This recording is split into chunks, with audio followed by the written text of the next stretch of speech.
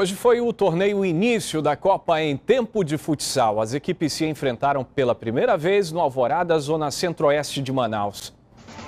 Enquadra o talento do jovem João Felipe. Aos 12 anos, ele já conhece o caminho das vitórias. Sair tocando, chegar no gol e mostrar a força de vontade para ser campeão.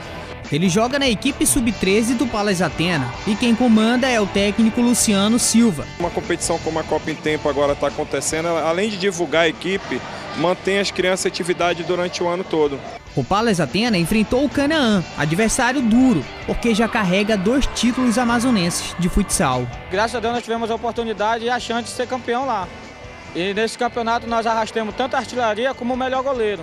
O artilheiro do time foi o Kennedy. Tá aí ele, um baixinho, mas com grande talento. Pensar um pouco a habilidade, pensar antes do que vai, o que vai fazer com, com a bola, né?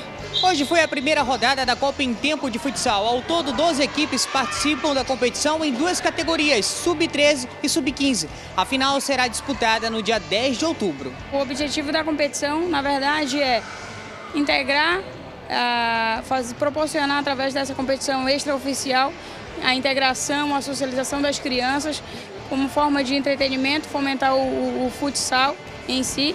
Esta é a primeira Copa em tempo de futsal. O campeonato é uma parceria com a Federação Amazonense de Futebol de Salão. A competição é disputada na quadra da Escola de Samba Unidos do Alvorada. O objetivo é incentivar a prática da modalidade aqui na capital. E na noite de ontem foi aberta a tradicional Olimpíada da Melhor Idade. Idosos de toda a capital participam das competições. O fim de tarde aqui no Parque do Idoso foi domado pelo som dos apitos e cornetas da torcida, que animaram a entrada das 34 delegações que vão participar dessa Olimpíada tão especial. Francisco participa pela quinta vez e já está ansioso para os Jogos. Eu fui um dos melhores na, na instrução de rapel. Aí depois que a idade chegou, tem que parar, né?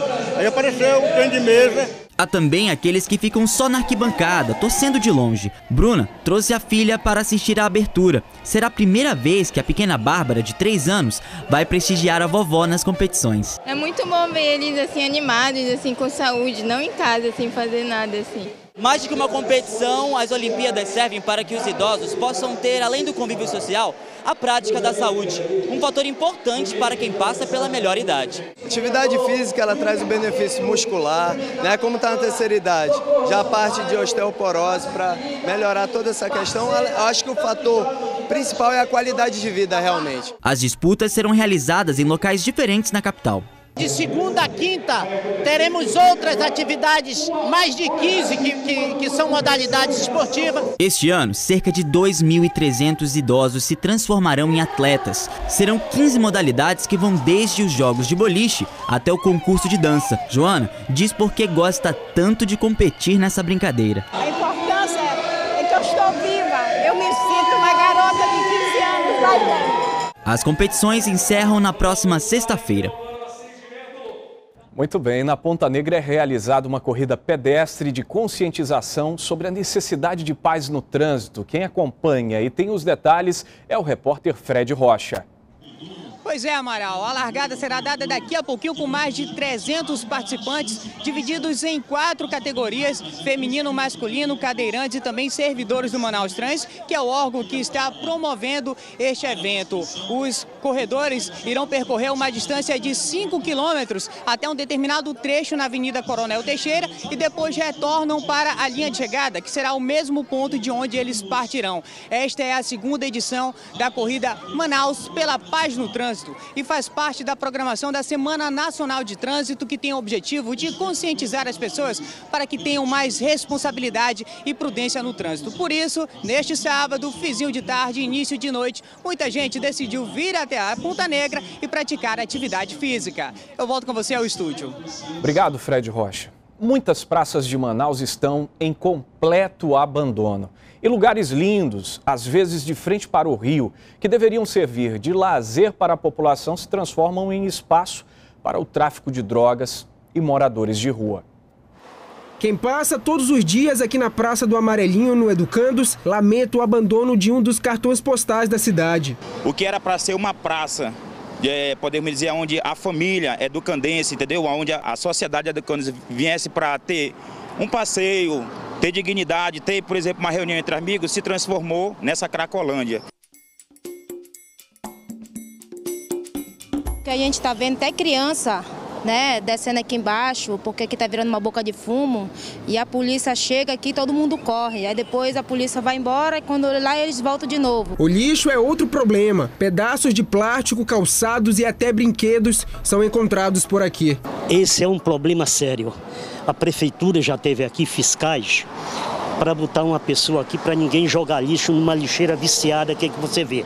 Mas não tem jeito. Praças como essa existem em todo lugar. Só em Manaus são 190 e de acordo com a Secretaria de Limpeza Pública, apenas 150 recebem manutenção. As outras 40, como essa aqui do Amarelinho, ficam abandonadas. Na Praça da Glória o cenário é o mesmo. Entre muitas reclamações está a falta de lixeira pública no local.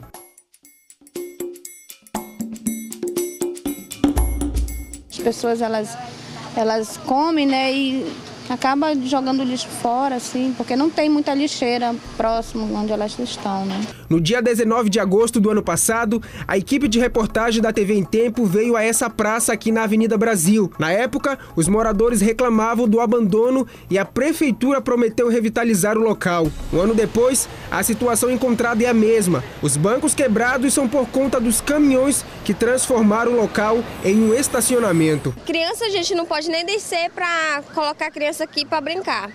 E outra, o poste está tudo escuro de noite, fica tudo escuro, fica muito perigoso. A limpeza das praças está incluída no orçamento da CEMUSP, que este ano é de quase 44 milhões de reais. Como as equipes que atendem as praças são as mesmas que atendem as ruas, né, não há uma contabilidade em separado para as praças, mas é um valor bastante expressivo que é dedicado a essa atividade. Segundo a CEMIF, hoje 60 locais passam por revitalização.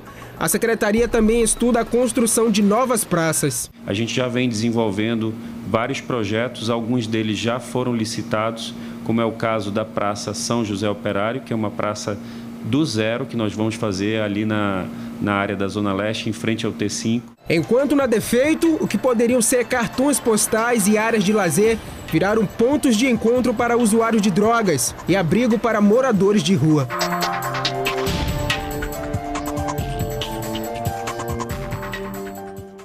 Esta edição do Jornal em Tempo para a Internet termina aqui. Muito obrigado pela sua audiência. Até a próxima.